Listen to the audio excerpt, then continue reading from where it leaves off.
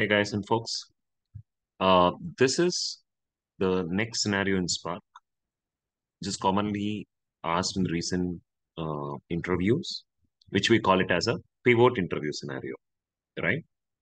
Th- There is an input data frame, there is an output data frame in the right. I'll detail it. I'll also give you this particular execution code in the description of this particular YouTube video. I have implemented in such a way you need not to read any data. Directly, you can able to uh, take the code programmatically. I have created the file data. You can directly use it. Now, let's continue the scenario. Now, if you see this pivot scenario, what is actually pivot scenario? Let me show you the data frame. So, this is the input and this is the output. If you closely watch out the input data, I have three columns, PID, keys, and values. In PID, I have 1122. Keys, I have ID name, ID name. And values, I have 1001, Adi, 1002, Vas. If you see the output, I have only three columns, but different columns. PID, ID name with 1, 1001 and Adi, and 2, 1002 and Vas.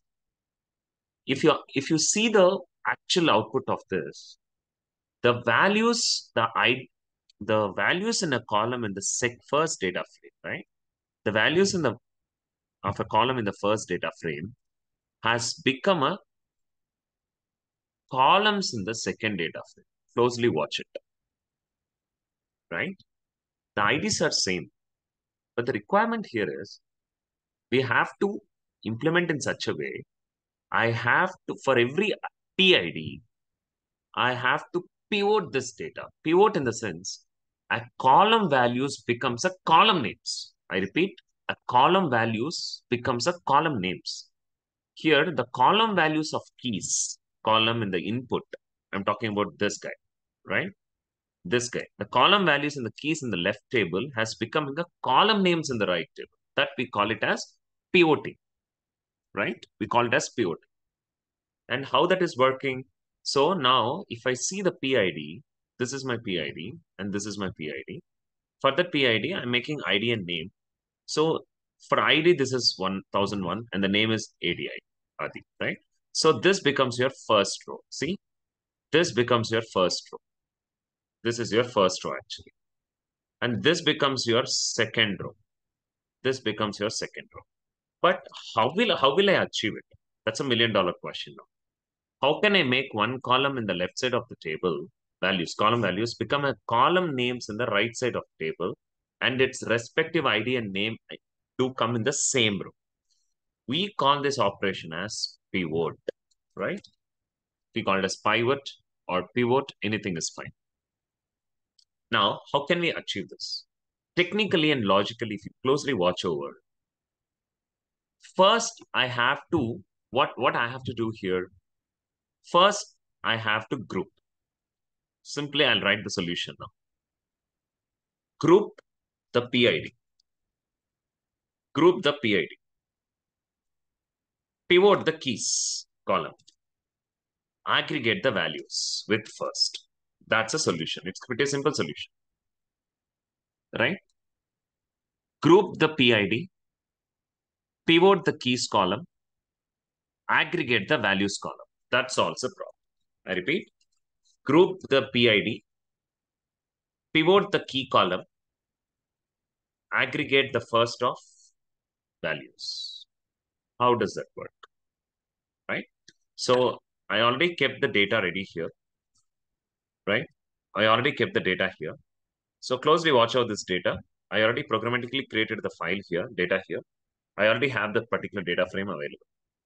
Now, hope you remember what I've said. I PID, I have to do a group by. Keys, I have to pivot or pivot. Values, I have to aggregate. Right? Now, how can I do that? Well, pivot data frame or pivot DDF is equal to df dot group by. You have to group the PID column. Right? And pivot the second keys column. If you do a pivot of keys column, every value of that particular keys becomes a columns there. And then aggregate the values. Dot aggregate of first of values.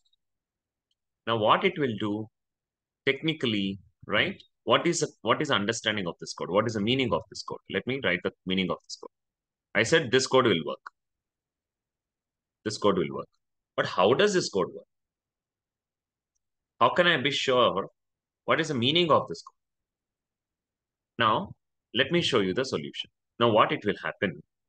It will take the first, see, if I'm doing a group by of PIDs, what it will do? It will group all the PIDs first. Remember, it will group the, all the PIDs first, one to one, two to two.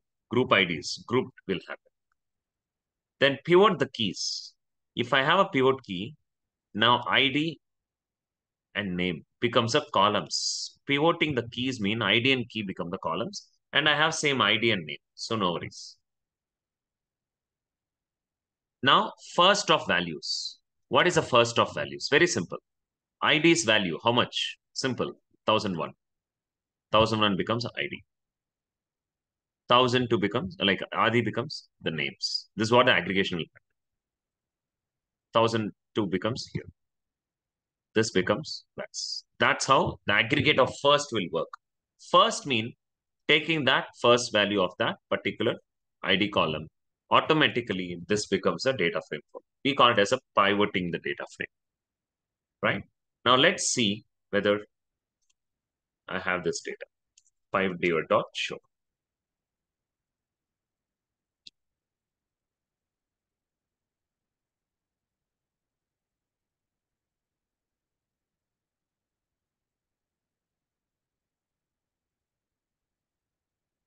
That's it.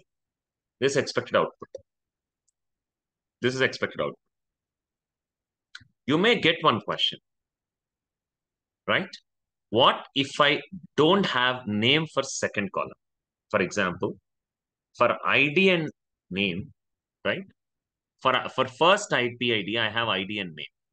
If what if I don't have name for the second column? So imagine pivoting will happen for sure. Definitely pivoting will happen, right? Now pivoting will happen with ID name because one has ID and name. So 1001 will be mapped here. Adi will be mapped here. But second column, only ID is got pivot, got pivoted. So this becomes 102, 1002. But for 2, there is no name. That becomes null here. Right? This may ask by the interviewer. So I'm just adding that. If a particular pivoted column is not available in any of the IDs, that would be null for you. You can check that. Right? This was this is what we called as a pivot interview scenario. Please uh, check the code in the description, complete this scenario. Thank you.